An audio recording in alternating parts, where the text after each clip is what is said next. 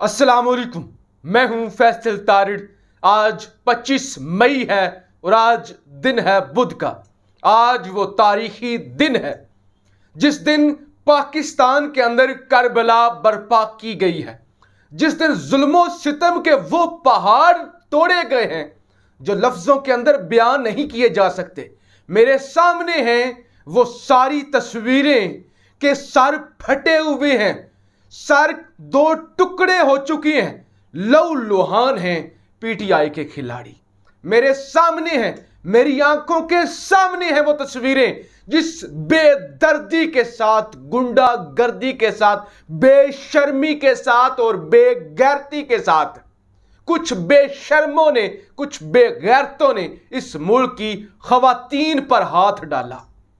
मेरे सामने है किस तरह बच्चों गाड़ियों के अंदर बच्चे थे और डंडे मार कर तोड़ा गया उन गाड़ियों को।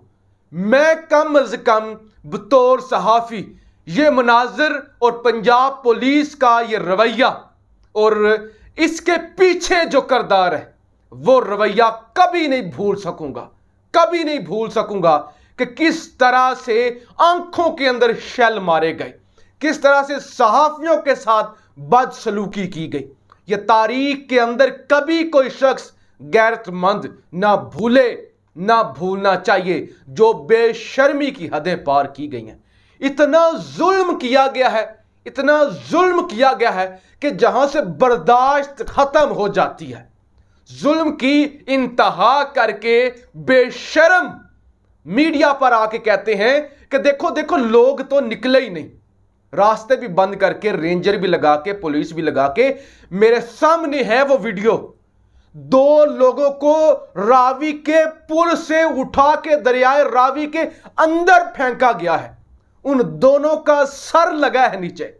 सर लगा है नीचे दरियाए रावी के अंदर पत्थरों से। और दोनों के सर फट गए हैं। सर सलामत नहीं रहे। लेकिन मैं सलाम पेश करता हूँ दोनों हाथों से, उन लोगों को जो उसके बावजूद खड़े हैं।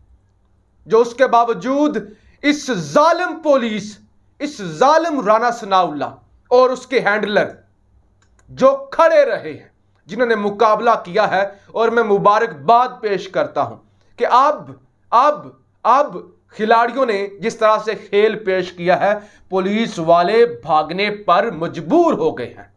जनाब, रकावटें तोड़ दी गई हैं। तमाम रकावटें तोड़ दी गई हैं। यही खान कहता था। यही खान कह रहा था कि जब आप खड़े हो जाएँगे, जब आप जुल्म की जंजीरें, खौफ की जंजीरें तोड़ देंगे तो कोई माई का लाल आपके सामने खड़ा नहीं हो सकेगा। ऐसा ही हुआ है। अटक पुल पर जैसे ही काफिला पहुँचा है खान का, बस फिर ना कोई कंटेनर था, ना कोई रुकावट थी ना कोई शेल था, ना कोई पुलिस थी, बस इतना ही इन आँखों ने देखा है कि पुलिस वाले भाग रहे थे। पुलिस वाले आगे आगे भागते हुए जा रहे थे। दौड़े लग चुकी थी, पसीने छूटे हुए थे और जूतियाँ पैरों के अंदर नहीं थी। ये इन आँखों ने मनाजर देखे हैं कि किस तरह से गयूर पाकिस्तानियों ने इन जालमों को और इनके जो पीछे राना सनाउल्ले हैं, उनको मजबूर किया अब वो भी घुटने टेक चुके हैं। ये सारे अंदाजे गलत साबित हो गए हैं जनाब, जो यहाँ पे अंदाज़ा लगा के बैठे हुए थे। और मैं पूरे आपको कहना चाहता हूँ कि कोई रह नहीं गया हुआ था। जैसे खान ने कहा था ना, कोई रह तो नहीं गया। आज भी कोई भी रह नहीं गया हुआ था इस जुल्मो सितम के अंदर मुलवस होने में। कोई भी नहीं रह गया हुआ था। और अब ऐसा कोई नहीं रह गया जिसकी टांगे ना काँप रही हूँ। जो इस वक्त परेशान ना हो। और पुलिस इस कदर गुंडागर्दी पे आ गई है। एक तस्वीर सोशल मीडिया पे वायरल हो रही है। आपने भी देखी होगी। एक पुलिस वाले ने इस तरह से पिस्टल, पिस्तौल निकाल के ऐसे सीधा किया हुआ है। वो जयकांत शिकरे बना हुआ है। वो शाका बना हुआ है। वो सनी देवल बना हुआ है। वो पता नहीं क्या बना हुआ है, क्या समझते हैं ये फ़िल्में देख देख के। क्या ये क्या मतलब? ये स्टेट स्टेट इस स्टेट की अदालतें, इस स्टेट का निज़ाम, एक वर्दी वाला, एक वर्दी वाला, ऐसे पिस्टल सीधा करके सिविलियन आम पाकिस्तानियों पर तान के खड़ा है। और बेशर्मो जाओ जाके कश्मीर आज़ाद करवाओ। जाओ जाके जाओ जाके जरा बलोचिस्तान में लड़ो। जाओ जाको वो कच्चे का इलाका और कहाँ पे वो जो डाकू होते हैं, उनसे लड़ो। यानी तुम सजदे करते हो अशराफिया को। और यहाँ पे एक सिविलियन आम लोगों पर पुलिस वाला ऐसे तान के, ऐसे पिस्टल तान के खड़ा हुआ है। कोई पाकिस्तानी ये मनाजर कैसे बर्दाश्त कर सकता है? जितना भी बेजमीर पाकिस्तानी हो क्या हम इसलिए, यानी हमारा अपना मुल्क है, जाति हमारा मालिक है हम इस मुल्क के। हम इस मुल्क के अंदर कोई कहीं से नहीं आए हुए। हम इस मुल्क के मालिक हैं, हमारा अपना मुल्क है, और फिर हम ही इस मुल्क को चलाते हैं। इस शख्स ने जो वर्दी पहनी हुई है, वो मेरे और आपके पैसों से पहनी हुई है। इस शख्स ने जो बेशर्मी के साथ इस तरह पिस्टल सीधा किया हुआ है, वो मेरे और आपके पैसों से किया हुआ है। इस बेशरम के पिस्टल के अंदर जो गोलियाँ हैं, वो मेरे और आपके पैसों से आई हुई हैं। और ये बेशरम इंसान, वर्दियाँ पहन के, हम पर पिस्तौल ये पिस्टल तान रहे हैं। क्या क्या क्या इसलिए हम इस मुल्क को टैक्स देते हैं? और ये कितनी बेदर्दी के साथ, जुल्म हो रहा है। और ये कितनी तल्ख हकीकत है यहाँ बड़े बड़े बंगलों के अंदर रहने वाले जो आईएमएफ से कर्जे लेते हैं और अपने वो तमाम तर मशरूबात और अपने तमाम तर वो काम चलाते हैं, उनको कौन पालते हैं? तीन मरले के घर के अंदर रहने वाले। इनकी बंदूकों के अंदर गोलियाँ भरने वाले मैं और आप हैं।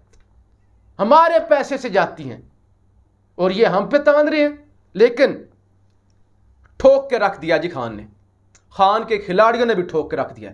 और ये जितना तारीख के अंदर पाकिस्तान के अंदर जुल्म हुआ होगा ना, जब पाकिस्तान जब बन रहा था, उससे ज़्यादा हो गया है। क्योंकि सोशल मीडिया पे ऐसी ऐसी तस्वीर, ऐसी ऐसी वीडियोज़ हैं जो कोई बर्दाश्त नहीं कर सकता। तो ये था जनाब अली राउंड वन अब राउंड टू शुरू हो चुका है। अब घबराने का वक्त दूसरी पार्टी का है। अब अब घबराने का वक्त दूसरी पार्टी का है। आप परेशान होने का वक्त दूसरी पार्टी का है। आप भागने का वक्त दूसरी पार्टी का है। अब सुना है कि मिन्नत और समाजत हो रही है। अंदाजे गलत साबित हो गए हैं। सारी रियासती मशीनरी, सारा एक पेज मिलकर ज़ोर लगाया गया, लेकिन नहीं रोक सके। कौन रोक सकता है? भला इनकलाब को कौन रोक सकता है? कोई रोक सका है? तारीख के अंदर किसी ने रोका है? नहीं रोक सकते। कोई भी नहीं रोक सकता। लोग अपनी आई पे आ जाए। पंजाब के एम एन एज ने अच्छा नहीं किया। अशराफिया यही करती है। जानबूझ के गिरफ्तारियाँ दी। लेकिन के पी के, के वर्कर्स ने इतनी कुर्बानी नहीं दी जो मेरे पंजाब के लोगों ने दी है। यह बात यहाँ पे लोग मैं मैंने आप खुद दो तीन वीडियोस के अंदर मैंने के पी के लोगों की इतनी तारीफ़ की इतनी तारीफ़ की और पंजाब को मैंने कोई अच्छे अल्फाज में याद नहीं किया। लेकिन यहाँ मैं ये कहना चाहता हूँ के पी के, के बहादुर जवानों ने इतनी कुर्बानी नहीं दी जितनी आज पंजाब के लोगों ने खड़ा हो खड़े होकर इस इंपोर्टेड के जुल्म का मुकाबला किया है। जिनको उठा के दरियाए रावी के अंदर फेंका गया है। कौन मोहब्बत करेगा इस वर्दी से? कौन माए जिन माओ को रुलाया गया है जिन माओ के गिरेबान पकड़े गए हैं जिन माओ के हाथ काटे गए हैं? क्या वो माए इन वर्दी वालों के लिए दुआएँ करेंगी? वो जो झोली उठा के दुआएँ मांगती हैं, कि ये सलामत रहे, मुल्क सलामत रहे। जितना दर्द इन्होंने इस कौम को दे दिया है 22 करोड़ के मुल्क को, कौन इनके लिए दुआ करेगा? ये नफरत का बीज बीज बो दिया गया है। और अब आपकी तसलियाँ ये नफरत कभी खत्म नहीं कर सकेंगी। पंजाब पुलिस की वो गालियाँ, वो बदतमीजियाँ, वो औरतों को थप्पड़ मारना, वो बच्चियों को मारना, पूरी कौम के चेहरों पर, पूरी कौम की आँखों के सामने वो नक्श हो चुका है।